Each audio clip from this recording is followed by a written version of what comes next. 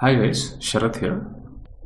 Since I made the video how to host websites on GitHub, uh, many things have changed. I'm going to show you what are those changes and how to host a website on GitHub. In order to do that, we have to create a new repository. I'm going to call this my website and then I'm going to initialize with a readme file in it so that there is a readme file inside when I create it.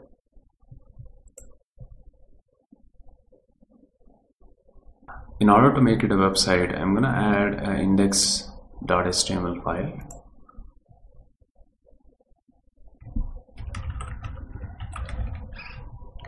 And also I'm going to add the HTML template, a basic one. I will add some content here, uh, maybe uh, h1 tag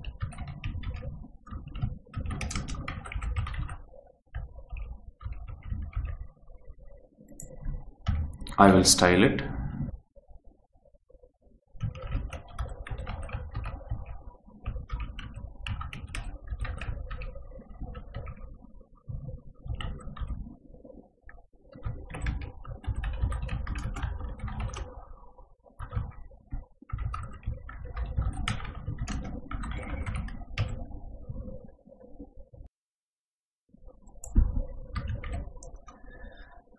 That looks good I'm gonna commit this.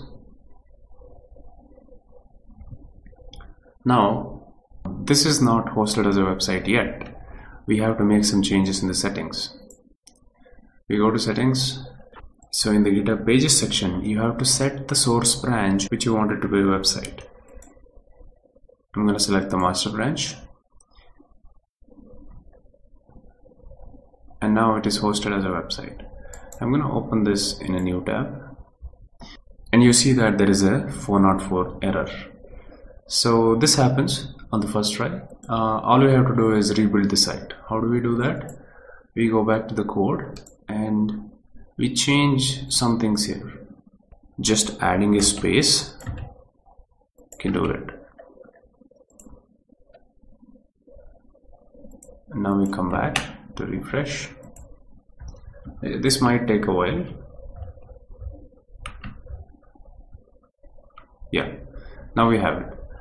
Uh, if you observe the source code it's the same as the one we put it in the index.html so that's how you host a website on github. It is easier than the way we followed earlier. I hope you like the video. Thank you. Bye bye